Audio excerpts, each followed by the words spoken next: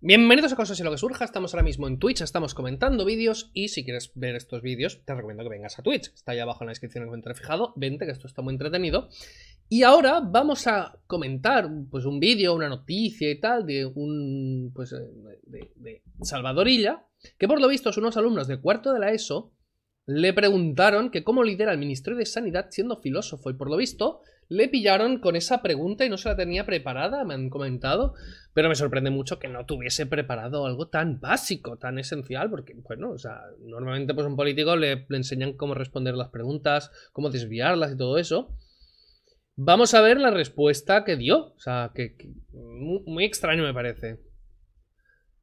Yo voy, no, a ver, sin saber lo que va a pasar, yo creo que se han vendido estos titulares como, ah, la han pillado, pedazo de pregunta, pero luego yo, es que dudo mucho que no se desenvuelva bien. Es que, es que hay que ser muy tonto para, caer en una, una pregunta así. A ver. Buenos días, estamos con Salvador Illa, ministro de Sanidad. Antes de nada, queremos agradecer enormemente la entrevista, cumpliendo con las medidas de seguridad del protocolo COVID. ¿Cómo bueno, sí. liderar el Ministerio de Sanidad siendo filósofo? Ahí la preguntado, ¿no? ¿Cómo, ¿Cómo liderar el Ministerio de Sanidad siendo filósofo? ¿Considera que era la mejor elección? Bueno, pues eh, yo estudié en su momento filosofía y, luego ya desde muy pronto, me, después de los estudios del ámbito empresarial, me dediqué al ámbito de la, de la, gestión pública y de la política. Esa es mi vocación. Y bueno, me ha llevado a distintas responsabilidades, la última de las cuales es la del Ministerio de Sanidad y el desempeño lo mejor que puedo y que sé. Un poco biográfico cuando me lo eh, el presidente del gobierno me llamó y me, propuso eh, este, esta responsabilidad, que para mí fue, y es un honor, no podíamos anticipar lo, que sucedería. ¿no? Y por eso, eh, yo creo que hay que inscribirlo en el contexto de una vocación y una trayectoria en el ámbito de la gestión pública y de la política y que me ha llevado. ¿Qué problema hay? Se sabía de carrerilla la respuesta. O sea, no le han pillado nada. La pregunta les puede parecer gracioso que le hayan hecho niños de cuarto de la ESO.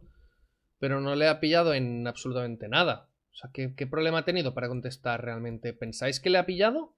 ¿Pensáis que no estaba preparado para responder esto?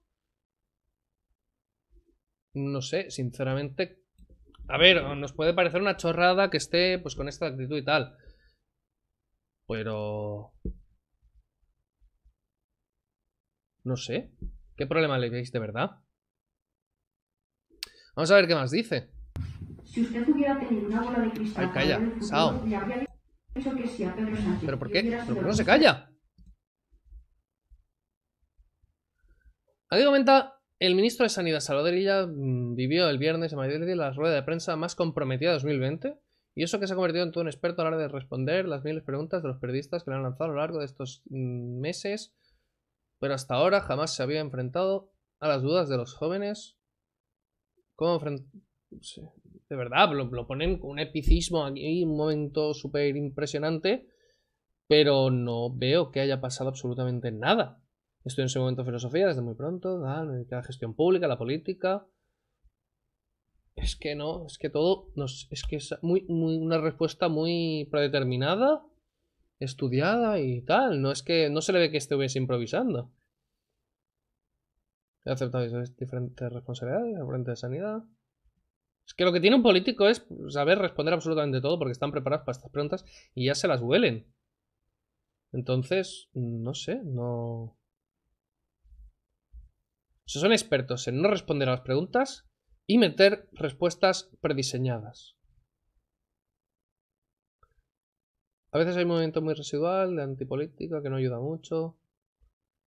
Como cualquier profesión, hay gente de todo tipo, pero la mayoría se dedica a la política por vocación.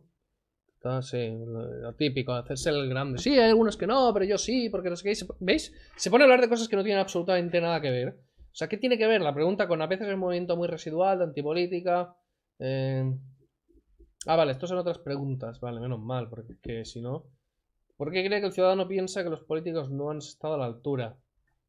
Bueno, también, tampoco tiene mucho que ver con la pregunta. O sea, sigue en la línea. Lo que hacen mucho los políticos es aprovechan tu pregunta para modificarla un poco, hacer ellos mismos una pregunta y responder la suya propia. Y aunque y les preguntas lo que les preguntes, mandan un mensaje político en una dirección que ya sabían antes y entonces lo redirigen por ahí.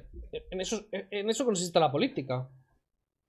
Así que mm, no veo que la hayan pillado por ningún lado. Los alumnos preocupados por la posible influencia de la educación presencial. No hay contagios en los entornos educativos. Que no hay contacto, pero no se deben hacer fiestas. O sea, clase sí, fiesta no. Puedes verte con los amigos, pero en grupos reducidos. Madre mía, si es que esto es de chiste todo. Pequeños periodistas. Le dan mucha epicidad cuando realmente, pues, ¿qué, qué pasa con esto? Nada. Mm, Políticos y maneras de esquivar el bulto. mm, Sin sorpresa. O sea, ha pasado mm, lo que tenía que pasar. Si es que ya se las saben.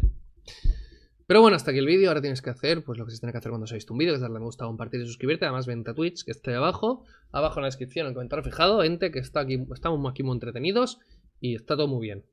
Así que vente. Te espero aquí.